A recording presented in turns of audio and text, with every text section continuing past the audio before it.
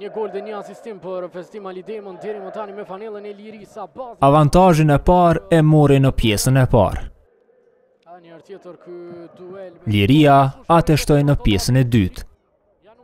Jo me shënime, por me futbollist në fushë, pasi dy lojtarët me përvojë të Llapit, Besar Musolli dhe Ahmet Januzi u përjashtuan nga loja.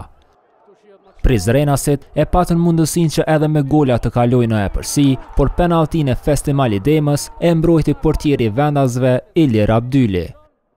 Në anën tjetër, portieri i mysafirëve, Arlis Shala, shkaktoi penalltinë në Muhamed Hysenin, i cili mori vetë përgjegjësinë për ekzekutimin e saj dhe tregoi saktësi në minutën e 77.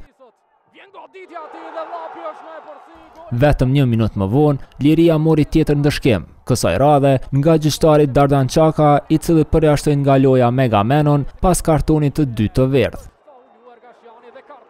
Ndërsa goditjen përfundimtare, Llapi e dha në minutën e 86 nëpërmjet të rikthyerit, Valmir Veliu, i cili vendosi rezultatin përfundimtar 2-0.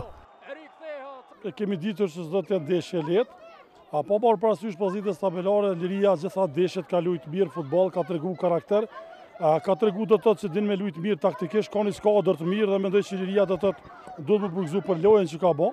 A mendoj që djemtë i kem pregaditë në pjesën psikike gjatë gjithë procesit.